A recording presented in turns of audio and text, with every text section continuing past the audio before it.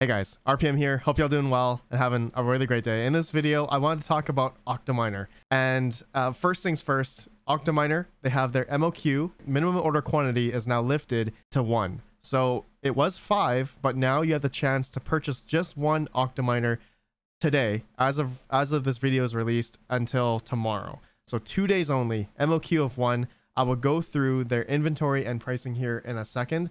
But I also do want to talk about in the rest of the video regarding if you should buy one of these or not, depending on what type of miner you are.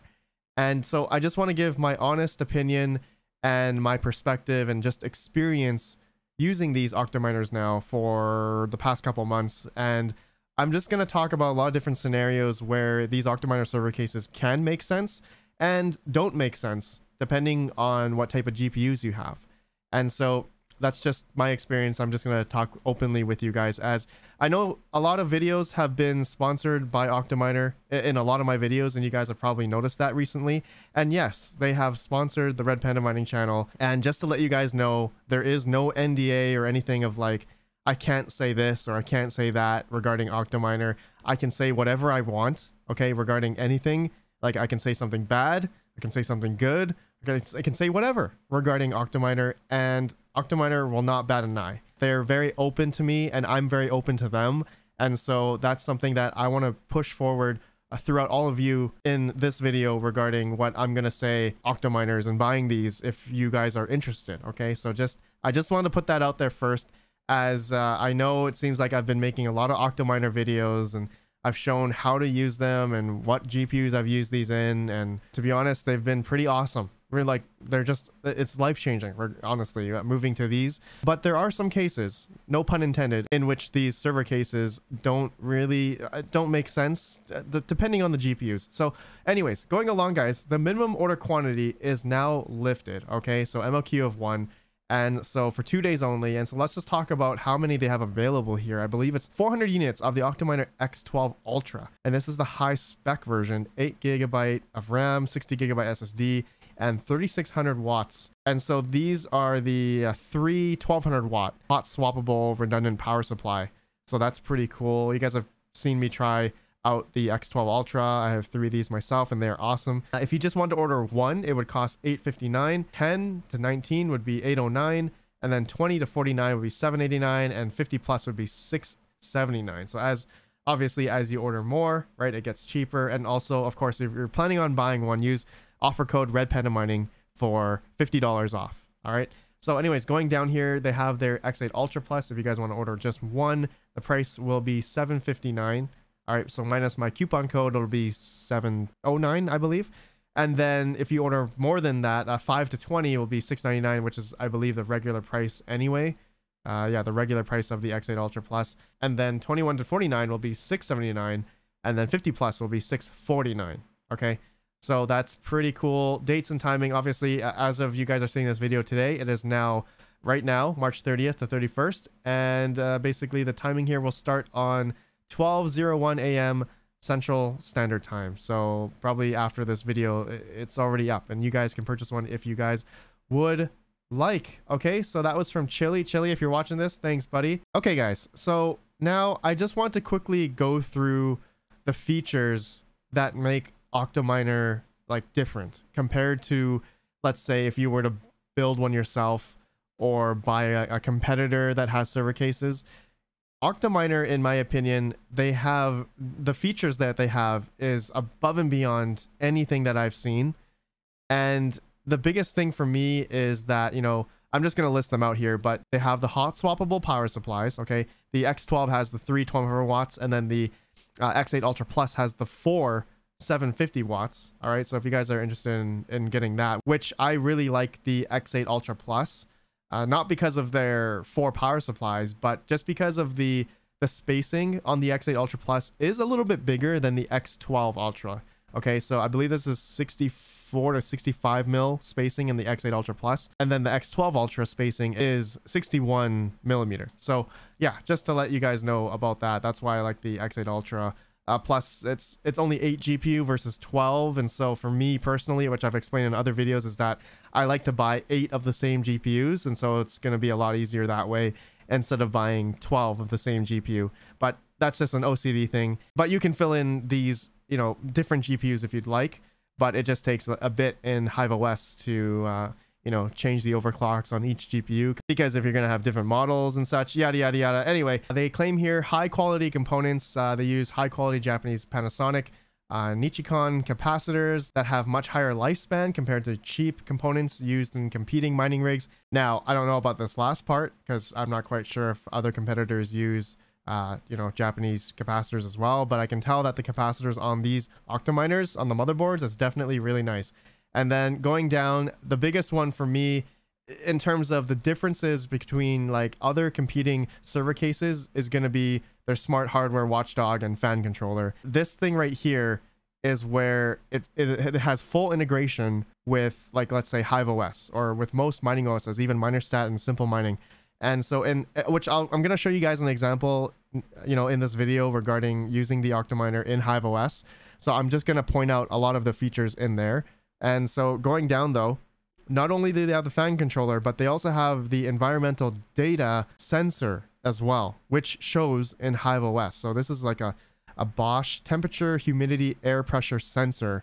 And so that's like amazing, right? There's no one else out there. There's no other server cases that has anything like that. But going along, other features that make the Octominer pretty awesome as well is when it comes to troubleshooting. Now, this is something I just found out recently is uh, they have something, they have a system diagnostic tool called OctoTest. And this comes up when uh, their pre-installed 60 gigabyte SSD will already come with Hive OS, but within that Hive OS image also has the OctoTest testing stuff here. So uh, when you load into Hive OS, instead of going into Hive OS, they'll have an OctoTest here, which you can test the memory, you can test the motherboards, you can test the fan, you can test the PCIe slots, you can test every individual part on the Octominer motherboard and it will tell you if there's something wrong. There's so many different things on the Octominer that can be troubleshooted and with the Octominer Octotest software, which is so awesome. But of course, when you get an Octominer, you hope to not use any of this kind of stuff because you shouldn't have an issue I mean, most shouldn't have an issue when it comes to troubleshooting their Octominer because it should work right out of the box. And you guys have seen that in my videos. I haven't had I haven't had any Octominer yet that has had any issue. Actually, no, not true. I did have one Radeon 7 slot, uh, PCIe slot, not work. So uh, I was hoping uh, I'm gonna get some GPUs, uh, Radeon 7s from Mining Chamber, and we're gonna have a video about that later on together. So stay tuned for that.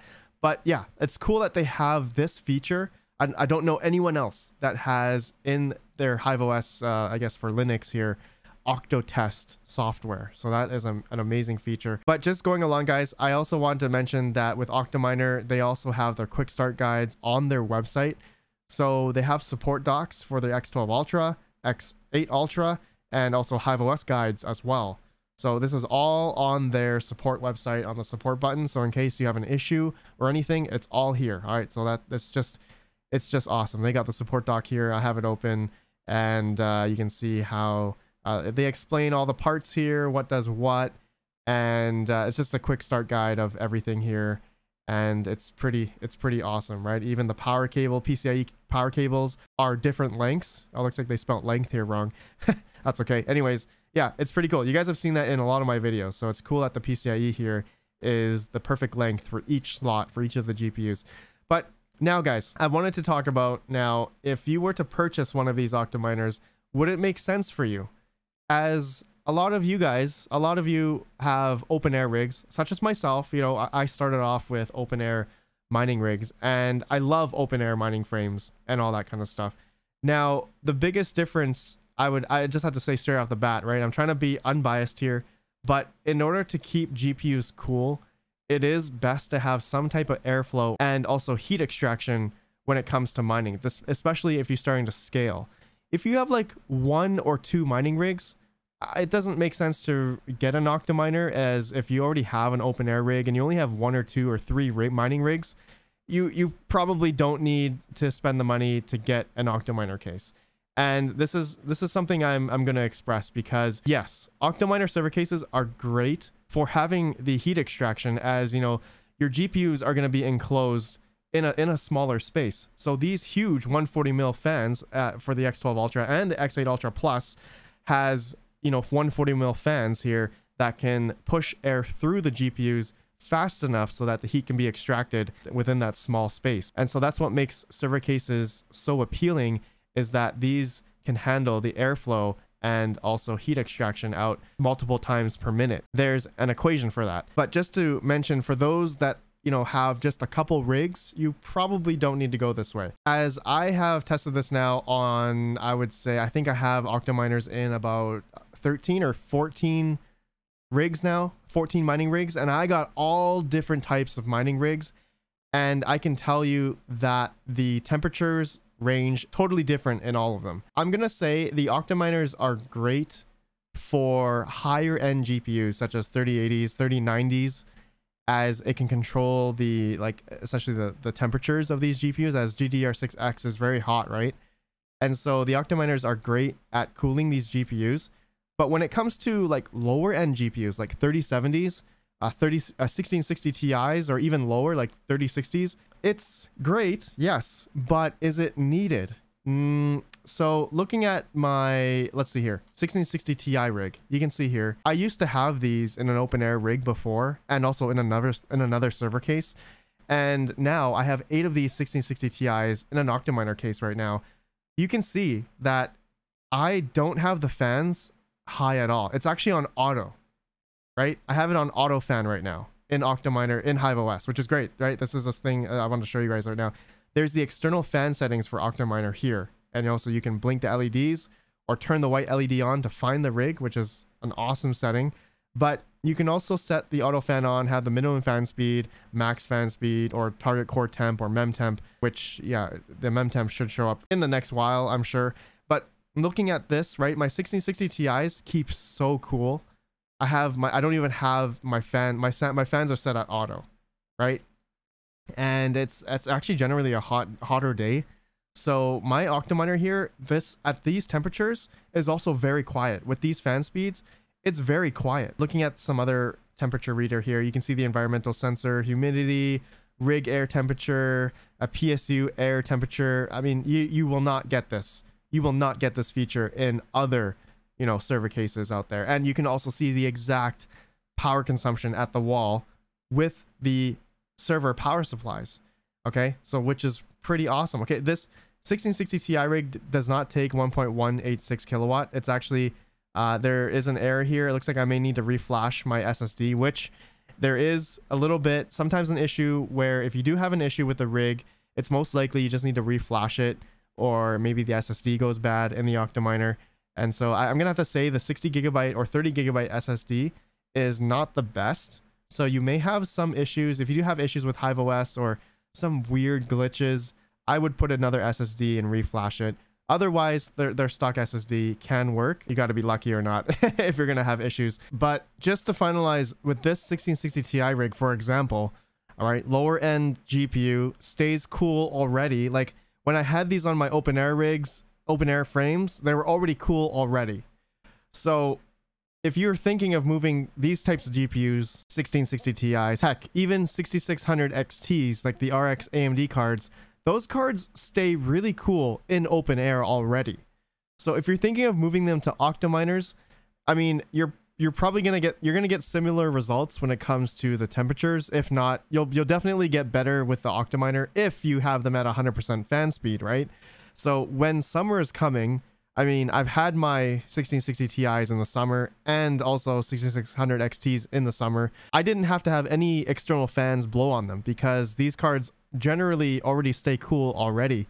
So if, yeah, like if you already have like a couple rigs of these already in open air frames, I'm going to have to say you do not need to upgrade to an Octominer for these types of GPUs, lower end GPUs. Of course, one of the biggest thing is going to be your ambient temperature of where you live. Now, if it's extremely, extremely hot, then yes, the temperatures are probably going to go higher.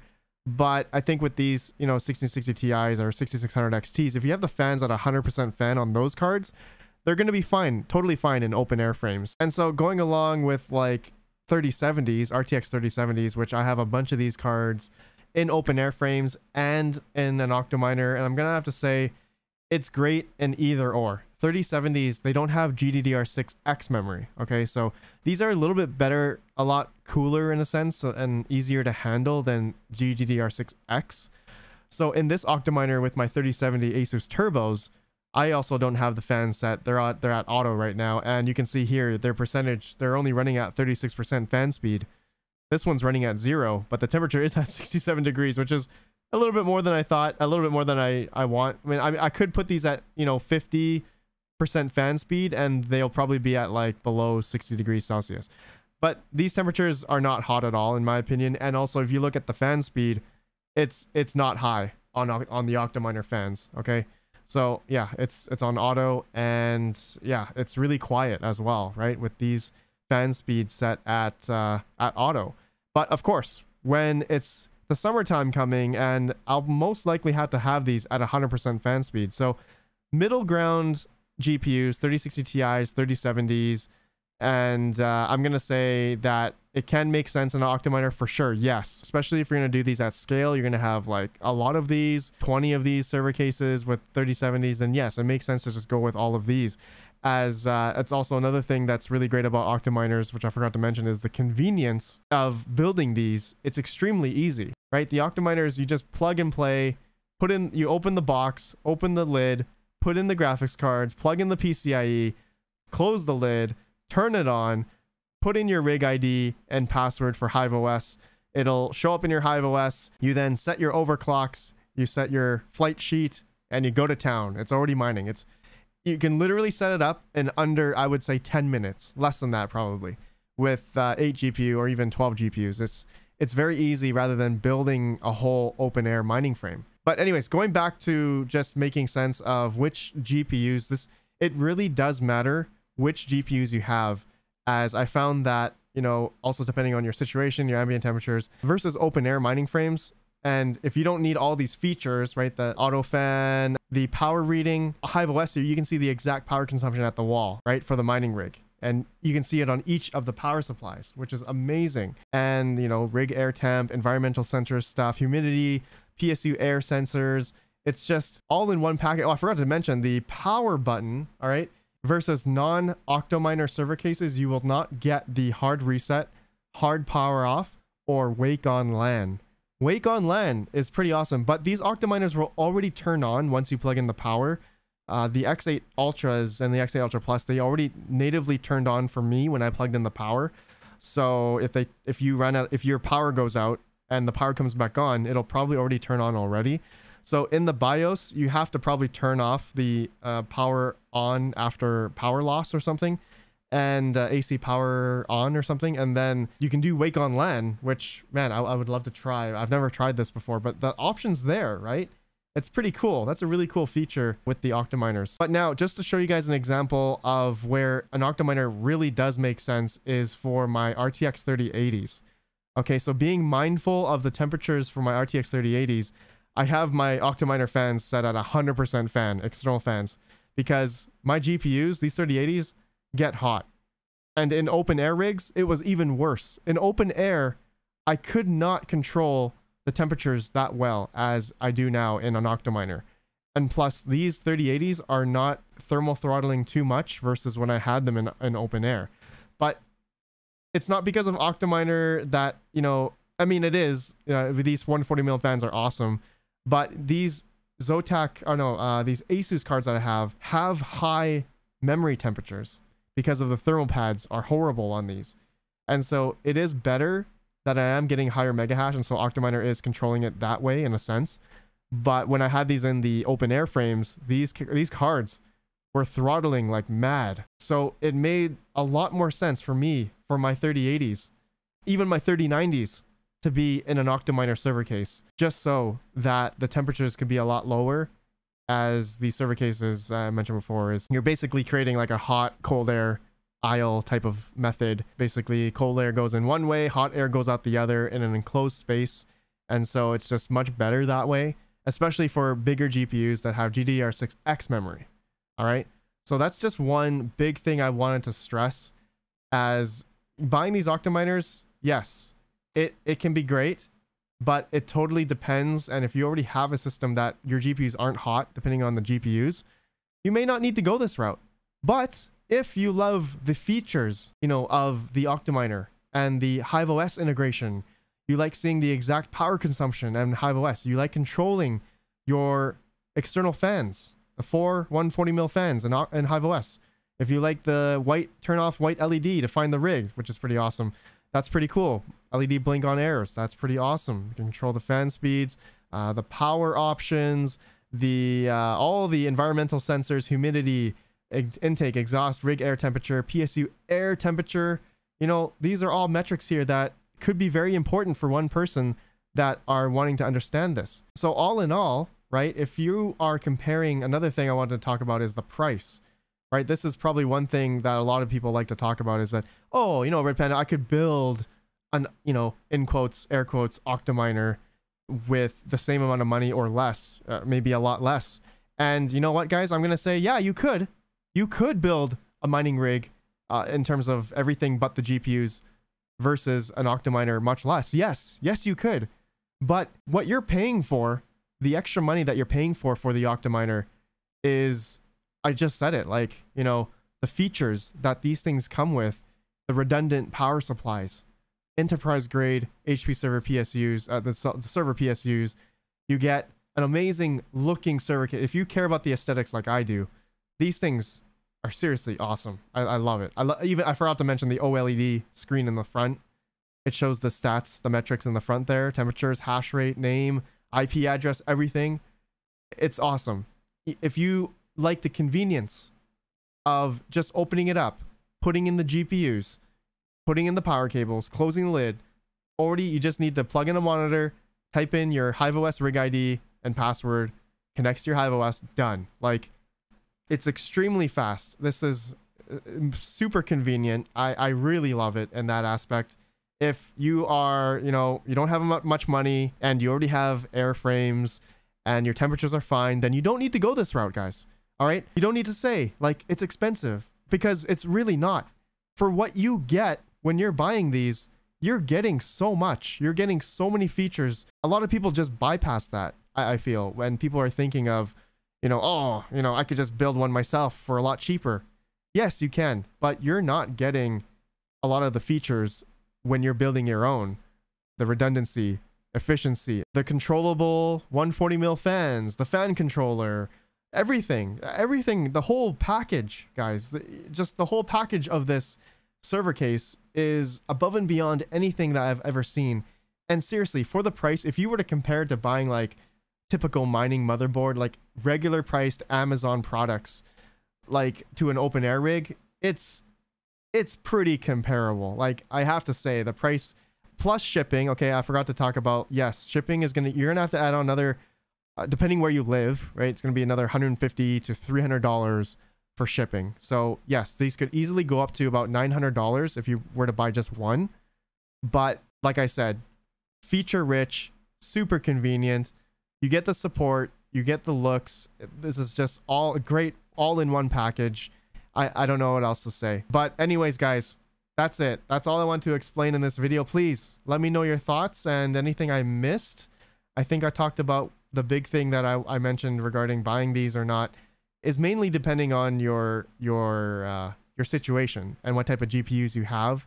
And if you're going to go on at, at scale, especially, it's I think Octominers are one of the best, the best, if not the best, uh, to go for if you're going to expand.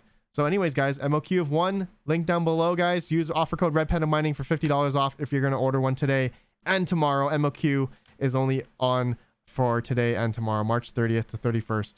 MOQ of one, my friends. Okay, so guys, thanks for watching. Thank you, Octominer. I'll see you guys in the next video. Have a good one. Peace out.